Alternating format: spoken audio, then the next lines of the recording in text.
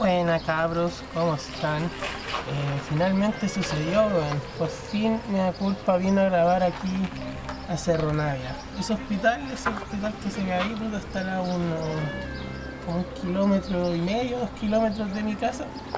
Eh, bueno, si le hacemos zoom, más zoom, más zoom, veremos que es donde se grabó el capítulo de esta semana de Mea Culpa.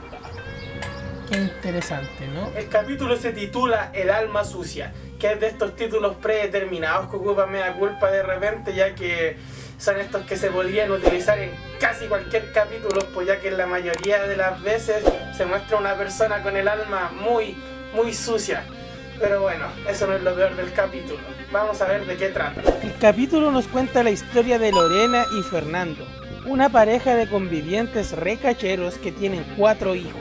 El menor de ellos, de solo cuatro meses de edad, un día, de la nada, comienza a mostrar extraños síntomas. En un principio, pareciera ser que la trama del episodio se centrará en la doctora tratando de descubrir la extraña enfermedad que aqueja a este pequeño niño que incluso lo llevó hasta la muerte y que la resolución de dicho misterio no llegaría sino hasta el final. Pero no, al tiro se nos muestra que es la propia Lorena quien está infestando a su hijo con tramadol. Si el capítulo anterior nos mostró a una nieta que mandó a pitearse a su abuela, este nos muestra a una madre que se pitió a su hijo y aparentemente pretende hacerlo con cada uno de ellos porque un año después utiliza el mismo método para acabar con el hijo que sigue, el que tiene 3 años. Y bueno, el capítulo no tiene mucha historia, la verdad. Nos muestra a la esposa del Kramer como la doctora que intenta descubrir qué es lo que le está pasando a estos niños,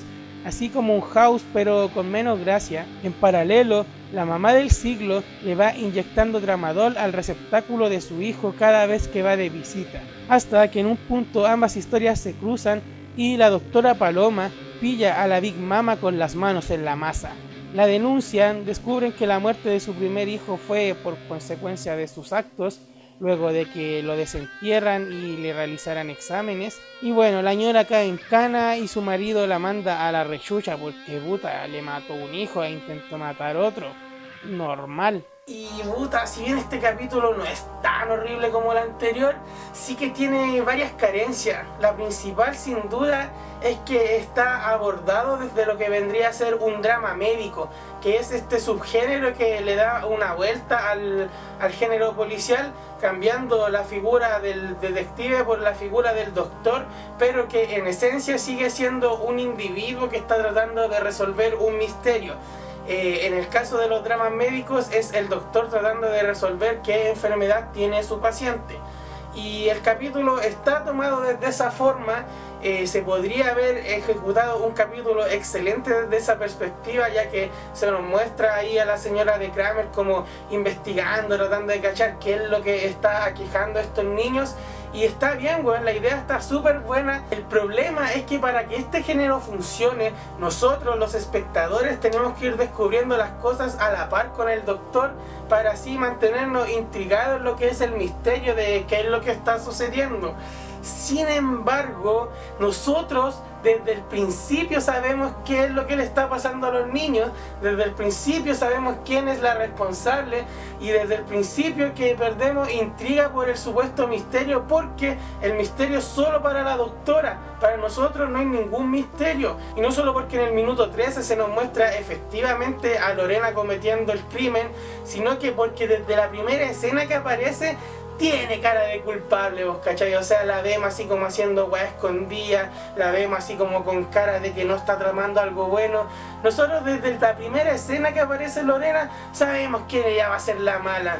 Entonces es raro que hayan decidido así como abordar el capítulo desde un drama médico pero haciendo de lado todo lo que hace especial a este género, porque a nosotros como espectador no sentir un real misterio por lo que está aconteciendo, eh, se vuelve aburridísimo y es reiterativo y siento que muestran a cada rato las mismas escenas y que las mismas escenas no nos están llevando a nada y que eso que no nos está llevando a nada no nos está llevando a ninguna otra cosa más y ver a la doctora tratar de resolver algo que nosotros ya sabemos es fome, weón, es aburrido y más encima, más encima tienen el descaro de utilizar un recurso súper frecuente en este género que es el de las pistas falsas que bueno, como el nombre lo dice, es el de plantear eh, pistas que podrían llevarnos a una eventual conclusión, pero que terminan siendo nada que ver, que es solamente para despistar al espectador y que esta escena, que de hecho es como con la que comienza el capítulo,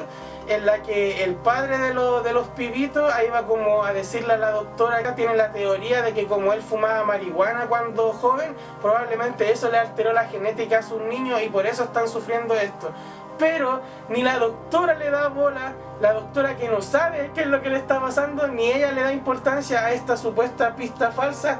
Y a nosotros nos importa mucho menos todavía, porque sí sabemos que él no tiene nada que ver. Pero lo peor de todo es que cuando la doctora Paloma descubre la verdad, ni siquiera es porque haya sido a través de sus investigaciones, sino que es porque efectivamente ve a Lorena con las manos en la masa ve a Lorena inyectándole el tramadol al, a, la, cuestión del suero de su hijo y es súper anticlimático, weón, así como que estuvo todo el capítulo tratando de descubrir qué weón, y al final esas investigaciones no ayudaron en nada, en nada, porque para descubrir qué fue lo que pasó, literalmente tuvo que ver al criminal con las manos en la masa.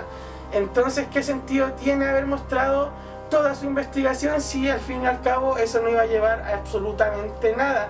Y mira, yo sé que esto está basado en hechos reales y que probablemente haya sido así que como pasó realmente, que la doctora en efecto vio a, Lorena inyectándole el tramadol al niño, pero puta, weón, ficcionamelo un poco, pues no te cuesta nada, si estoy seguro que hay ficcionado muchas weas antes. ¿Cómo no voy a ficcionar un poquito ahora para que el capítulo sea un poquito más más intrigante, un poquito más interesante, Juan, dame, dame algo de sazón, dame algo, dame algo que me estoy quedando dormido viendo este episodio tan reiterativo, tan aburrido y tan fome. Bueno, pero todo eso que he dicho hasta ahora es en términos de guion, porque ahora vamos a hablar, digamos, de los aspectos de dirección, digamos, de lo que es el aspecto más visual de la narrativa de la historia y que en esta ocasión, luego de tres capítulos de ausencia, vuelve Carlos Pinto como director y se nota, weón, se nota. El principio es increíble, no tiene ni una sola línea de diálogo y somos capaces de desprender todo lo que está sucediendo solo por las imágenes que se nos muestran. Este es un padre que está viendo cómo posiblemente va a morir su hijo. Y el actor que hizo del padre se puso la 10 en este capítulo. Su actuación es de lo mejor que tenemos. Otro aspecto a destacar de la dirección del episodio es que en la primera escena que vemos a toda la familia reunida, podemos notar como toda la casa y las vestimentas de los hijos, el padre e incluso la utilería del lugar comparten la misma paleta de colores, siendo Lorena la única que desentona de entre todos ellos, diciéndonos subliminalmente que ella será la responsable del crimen que está por suceder. También nos regalan planos desde ángulos poco convencionales para los estándares de la serie, lo que enriquece visualmente el episodio. Pero, sin dudas, la mejor escena es esta en que Lorena conversa con su vecina sobre lo que está sufriendo su hijo y la vecina le tira unos comentarios de que podría ser culpa de ella, de que ya que podría haberle dado un remedio vencido. Conforme Lorena se va sintiendo acorralada, la cámara se va acercando lentamente. El plano empieza así y termina así.